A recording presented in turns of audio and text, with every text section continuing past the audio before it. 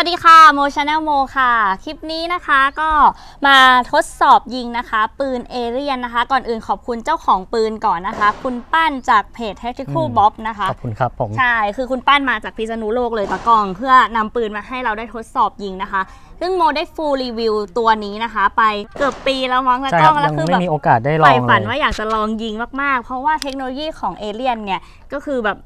สุดยอดมากนะคะ ก็คือที่โมอยากทดสอบนะคะ ก็คือลำกล้องอะมันอยู่ ด้านล่างลำกล้องใช่ ฟิกกับโครงปืนเลย แล้วก็แนวลำกล้องนะครับจะอยู่ที่อุ้มมือพอดี ใช่ก็คือคิดว่าจะอยู่ประมาณปืนอะนี้มันต้องนิ่งมากๆเลยแน่ๆแต่กล้องคือเหมือนแบบแรงรีคอยล์ทุกอย่างมันจะต้องอยู่ในอุ้มมือเรา ก็เดี๋ยวเราแปะลิงก์ฟูลรีวิวไว้ให้นะครับ ใช่ อันี้เป็นการทดสอบยิงสั้น มันต้องนิ่งมากๆแน่ๆเลย แล้วก็อาจจะคุมรีคๆ อยล์แล้วก็เป็นปืนที่ราคาสูงมากนะครับอยู่ที่ประมาณ 2 0 0แสนกว่าๆนะครับ อ่า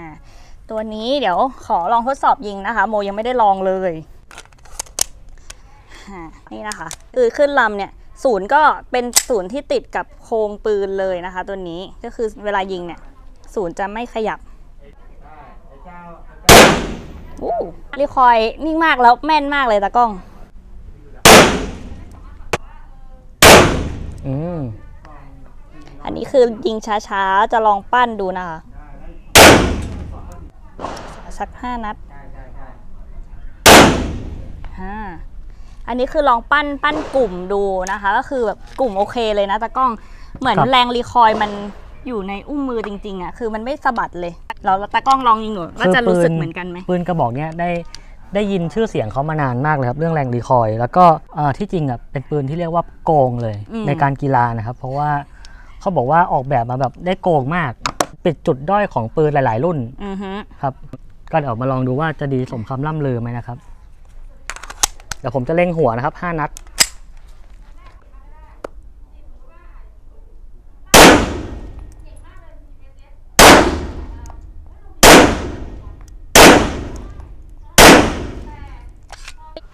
ก็ยังอยู่ในโซนหมดเลยคืนะอตากล้อง คือผมรู้เลยอะ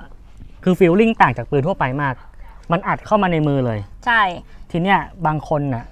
เขาวิจารณ์ว่าเป็นข้อเสียด้วยซ้ำนะคุณโมอืมเพราะว่าพอเรายิงต่อเนื่องนานๆอะ มันจะเจ็บมันจะเจ็บอุ้งมือออ่าเพตรงราะว่าเจ็บตรงข้อข้อรีตครงอยนี้อะใช่ไหมวิ่งวิ่งก็ถูกเข้านะข้ออันมืนี้อก็คือรู้สึกตงๆแบบมันเข้าใช่มันเข้าตรงนี้เลยทุกคนอืมมันสะท้านอืตรงนี้เลย ใช่ แล้วอีกอย่างหนึ่งก็คือมันเป็นระบบแก๊สโอเปเรตซิสเต็มด้วยคือ ข้างในนี่คือดำปีเลยนะคะ สกปรกมากเลยทุกคน ใช่ครับก็คือที่จริงนะฮะอ่า กระสุนนะครับ เราไม่ควรใช้ใช้กระสุนหัวตะกั่วแบบนี้นะครับอืมเพราะว่ามีโอกาสไปตันรูแก๊สข้างในได้ คือถ้าตันปุ๊บก็จบเลยต้องถอดล้าง แต่ว่าในกล่องเนี่ยเขามีมีมีอะไรน้ำมันอ่ามีตัวน้ำมันขูดคาร์บอนให้ด้วยอ๋อแล้วก็อีกอย่างหนึ่งอะคือกล่องเนี้ยมันจะมีน้ำมันมาให้ครับอ่าซึ่งก็คือเขาจากผู้ใช้งานนะคะ เจ้าของปืนเขาก็บอกว่าคือยิงยิงๆไปอะสักพักมันจะฝืด เออต้องเขาก็เลยมีต้องหยอดน้ำมันน้ำมันมาให้ก็คือก็เลยคิดว่าเออคือเขาคงรู้ปัญหาของปืนอันนี้แหละครับทางทางบริษัทที่ผลิตปืนเขาก็เลยแถมน้ำมันมาในกล่องเลยอืมอันนี้ค่ะ เดี๋ยวขอลองอีกชุดหนึ่งนะครับอ่าเดี๋ยวลองความลื่นไหลลื่นไหลอะจะต้องยิงเร็วเดี๋ยวลองเพจนะครับ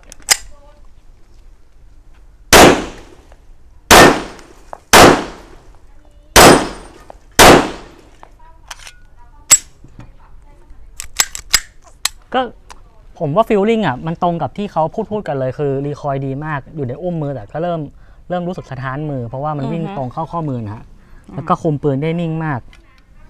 ก็เดี๋ยวคุณโมลองอีกสักห้านัดเนาะลองยิงเพจดู หรือจะลองยิงโซน A ดูก็ได้ครับ เร็วๆขึ้น ใช่ ลองลองยิงโซนฝึก A ฝึกบ้าง แล้วก็ยิงเพจบ้างสลับเป้าว่าแบบการจับเป้านะคะ เป็นยังไง ขอลองยิงให้สมกับที่อยากลองมานานนะทุกคน